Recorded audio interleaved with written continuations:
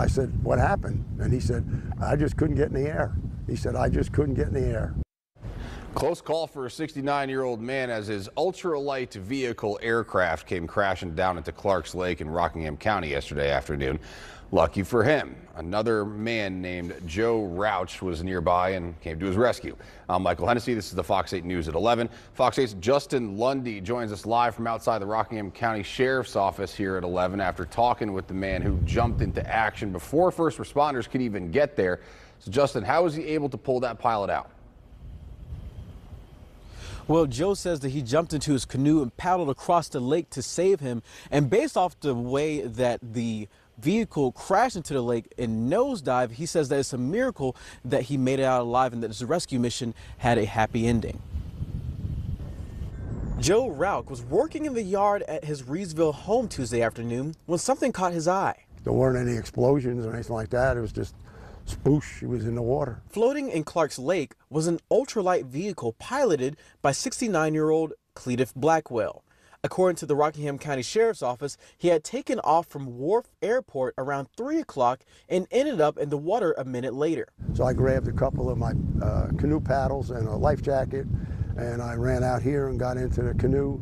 Uh, my one friend was calling 911, and the other one was uh, pushing the canoe out uh, into the water. While Rauch paddled across the lake, the pilot managed to get out of the sunken vehicle and climb on top. First find out if he was okay, and then I was able to get him into the uh, canoe and bring him back to the bank where uh, EMS people were showing up and they took it from there. Rockingham County Sheriff Sam Page says the cause of the crash was high winds. When the person was taken off, had some type of difficulty with the aircraft, the wind or something like that, and uh, I guess couldn't clear the tree areas, and so therefore uh, lost altitude and went into the lake.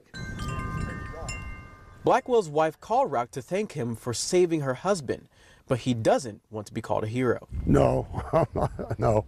I, people have said that, but I am not. I just, fortunately, this is what I said this to his wife and everybody else that said that to me, and that is because she thought I was an angel, and I said, I'm far from being an angel. I said, uh, I just happened to be at the right place at the right time. Sheriff Page says there's no further investigation into the crash and Blackwell has hired crews to remove the ultralight vehicle from the lake.